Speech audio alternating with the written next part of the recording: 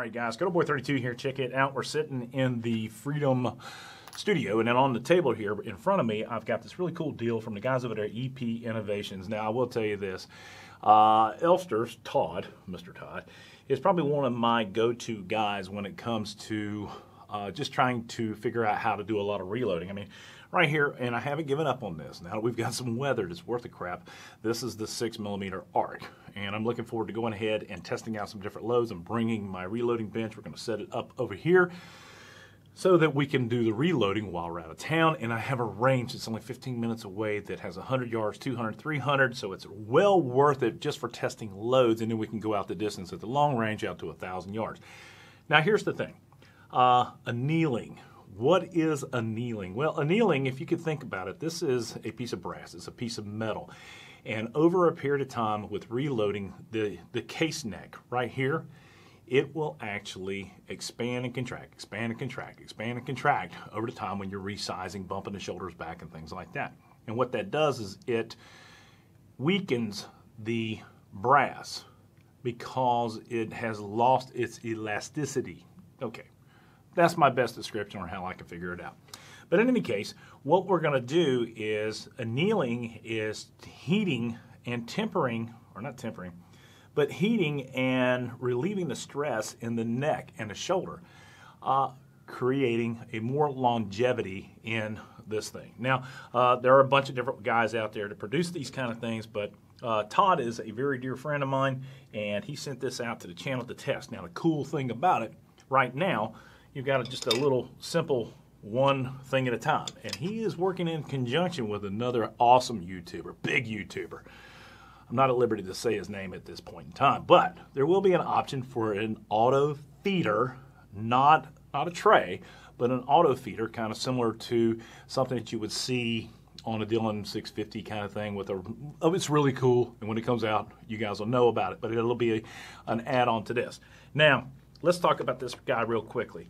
Uh, the unique part about this is you can do everything from 223 250 BMG with this guy. Uh, it has a center bolt right here, and what you do is you bring this out like this, and then the rotating disc, not the drum, oh, but the rotating disc comes out. Let's see here, what in the world? Oh, okay, well, never mind. I've got to loosen up the gate here. So this is what keeps the uh, piece of brass in order. And then you can bring this guy out, and I'm doing this from behind it, in order to go ahead and size it accordingly. So say for instance, this is the new 556 brass that I was running this last week. What I want to do is I want to set this machine up to run that 556 brass. So this has a gate that uh, fits, well, hold on, what am I doing wrong here? Okay this thing is attached to there. So what we want to do is we want to go ahead and size this up so that this piece of brass right here lays in here. And there's an set of instructions, but you know, as a man, we don't look at these things as a matter of pride. So what we do is we adjust the gate right here so that the drum can spin. And then what I want to do is I want to position that piece of brass I'm going to loosen this wing nut up, all right, so that the neck of this thing will, I got to keep, keep this guy loose. So you can tell I, I, I haven't read the instructions, but I've played with it. I've melted some brass with it, and that's not the goal. what we want to do. All right, so I'm just bringing this thing out enough to where our brass right here is being pushed out enough so when we put the torch to it, by the way, here's the torch, and amazingly enough, uh, I have a stovetop in this apartment that's gas. So I can light this thing, and I didn't do it last night. But a minute ago, we're going minute, a couple minutes, we're going to go over some other items. So once we get that piece of brass out far enough, what I'm going to do is, one, I want to adjust this little rod thing right here. Okay, that's the gate, and then we're going to put that right here. Now, it also comes with this really cool looking little deal here. This is the power supply. And in a minute, I'm going to have to figure out how to plug this thing in and make it run. I've got a power right over there. So what we have is a, a little power adapter, and it plugs in right here in the back. Now, this is a pretty neat little deal. Now, before we do that, what I want to do is I want to take these little legs, the little daggy things, and I want to place that on this uh, propane tank. Now, also included is the little uh, valve here for the torch uh, with the head, but you got to provide your own propane. So we're going to tighten this thing up enough to where I know it's not going to slide around. I've got both 6 millimeter ARC brass, but for our example, we're going to show you this. Now, these are brand new pieces of brass, and these have been washed. I'm not sure why. I think I let the uh, lemon juice in there for too long. anyway, but what we want to do is I'm going to place this thing on here, and we want that flame to go right up on that neck. Now, I'm not a professional annealer. I never have been claimed to be. I don't really care to be one. But this, again, if you've got, like, say, for instance, 6 millimeter ARC brass, you want that stuff to last as long as you possibly can. Simply because there ain't a whole lot of it out there. Um, who was it that said they went over to Bud's gun shop today and bought a bunch of uh, 6 millimeter ARC? Yeah, I do read the, read the comments. All right, so we got that thing. What I'm to do is I'm to plug this deal in on the back. And the cool thing is, is that you have an adjustment here. This is just the revolutions per minute, okay? And the nice thing is they did a lot of testing on that just to make sure that they had it right. Let's go ahead and plug this thing in real quick, and I'm going to show you that. Okay. All right, so now what you have is a display screen right here. I'm not sure what that is. I think it's a reset button or something. But on the display screen right here, you can see the numbers go increase. All right. Now, one of the things that you will notice, wow, it goes like that. So what you want to do is when that one is getting ready, we'll go ahead and we'll put this guy on there. Now, wait a minute. You got to adjust the gate on this thing too. Stand by. So what you do is you bring this guy out. This is cool. You guys are learning with me. And you got to bring it out a little longer. There we go. So we'll go ahead and put the next one on there. And that guy will, no, a little longer. Because you want to match up this little plate right here with that guy right there. Like that. And then you, it is annealing and it will rotate around. And what you want to do is we're going to use the glow method. Now the glow method is a little bit different from what I was using at first because I was using the melt method. You don't want to use the melt method. Not a very good option let's go ahead and make sure that these are on. Now that's the six millimeter ARC. And we'll probably have to extend that out a little bit to be proficient on it. But right now what we want to do is I want to use this thing just for the 223. Now, here's the thing. You need to make sure that this guy right here is suspended up enough to where it will allow that case to freely rotate. All right? We're looking pretty good let's go ahead and light this bad boy up and we'll anneal a few pieces and see how it's going. Here we go. Okay, so what we're gonna do, I have the torches lit. We're gonna go ahead and position this thing to where it's sitting right there. Now, here's the thing. I've been told by Todd, is a lot of, some people were concerned that this thing is gonna get real hot and ruin your, your stuff. I don't think so. Maybe we want to speed that up a little bit. Put that next one in there. There we go. Now, I'm going to run some, just show you guys what it looks like. And then what we're going to do, because we're not wanting to destroy the brass, we're going to turn the lights down real low. Here we go.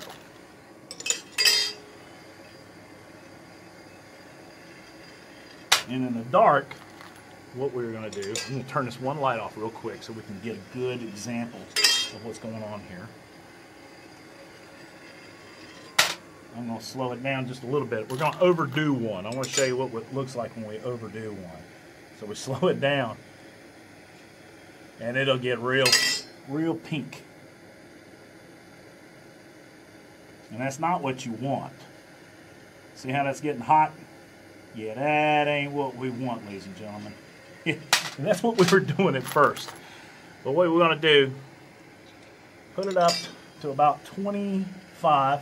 Revolutions a minute, or whatever that's supposed to be. All right, and that might be a little too slow too. Hold on one second. Let's do the, the blackout method. All right, here we go. We are in the dark. You guys can see the flame.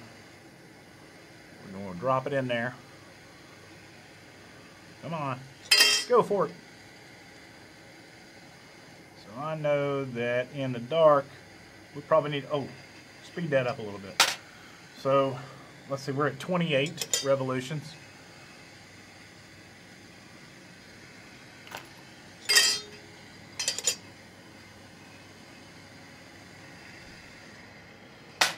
Eh, a little slower than that. Let's go 25. That's perfect. I think let's go 25. And see, this thing is cool to the touch, too. It's amazing. It does not conduct the heat.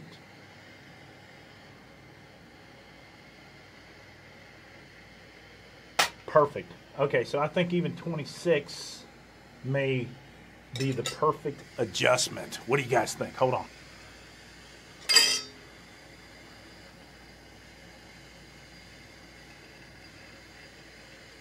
Yep, that's the what I want to see. Now, what I want to do is when we have that, I'm going to go ahead and put this brass over here. I'll use that later on just for some some plinking ammo. But let's do this. I want to show you what I got it on this. I want to show. Oh, it also includes this tray. Let's go ahead and run a few pieces of the uh, 556. We'll do three pieces of that.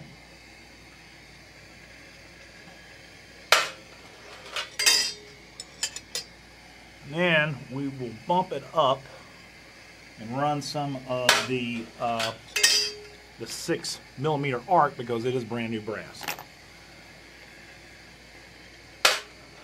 So to change it up, all we got to do, and this is going to be fun, I'm just going to move this guy out of the way. I'm going to probably burn my fingers if we try to do it this early. How about if we do it just like this? I'm going to loosen this guy up. We're going to bring it out a little bit and up. And then, let's go ahead and turn it off. Let's remember 26, okay? And then I'm going to bring this guy up to where it should just, actually it should be almost the same. It's a little shorter. Yeah. I'm to bring her up about that there. And we'll bring the gate up to match. Let's go ahead and run that around. That works. All right, but we still want to bring this guy up a little bit more. A little bit more. And that's easy. All right, so we'll go ahead and bring this thing up just a tad, to make sure that we're going to be in there.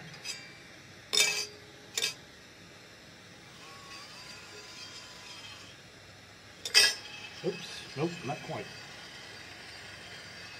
It's kind of cool you guys are seeing the mistakes that I'm making. There, perfect. All right, so let's go ahead and bring it to 26 revolutions. And we can bring it back on here. That's a new piece. And we'll put that torch right back where we want it. I want the tip of the blue flame to be right there, okay? So there we go. Adjust that to where it's evenly hit the neck and the, uh, the shoulder. Let's do it one more time. This is stuff that's fun. And I hope you're enjoying this because I've had this thing for a while now, but I really have had trouble trying to figure out how to properly illustrate it to you guys. There we go. We'll do two more pieces. And those are perfect. And this is brand new brass, so it's going to show how nicely it is annealed.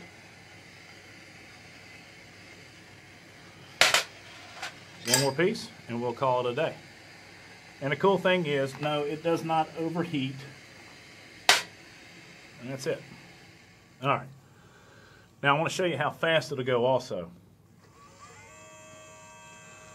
Isn't that cool? All right. Let's move this thing out of the way. But I want to show you how nice these pieces of brass ow, are annealed. It's not quite as hot. But they are perfect all the way across. Like I said, there are several other companies that make annealers, but I will tell you this: this is 260 bucks and change. Ow! You can get a nice branding while you're doing that. but that's what they look like. Not bad. This is my good friend uh, Todd Elsters. I hope you guys enjoyed this video. If you have any questions, please don't hesitate in leaving any questions down below. I'm going to put the link in the first line of the uh, description of this video down below. But today, I, you know, I don't know if you would want to use it on 556 brass because I've got like five five gallon buckets of this stuff laying around and nobody seems to want to pick it up. But if you got 338 Lapua, uh, 65 Creedmoor, stuff that you really want to save, the brass, like I said, six millimeter ARC, this stuff is expensive and it's not available as much as you'd like it. Fortunately, I got 300 pieces of brand new brass and we're going to get to the annealing here pretty soon. Dakota Boy 32 if you like the video, please give it a thumbs up. Subscribe if you haven't already done so. Support red, white, and blue. God bless America. God bless those men, women in uniform 24 7 for our freedom. This freedom is not free. Whew. That's what I said. Long word. Long video. Y'all be good. I am out of here.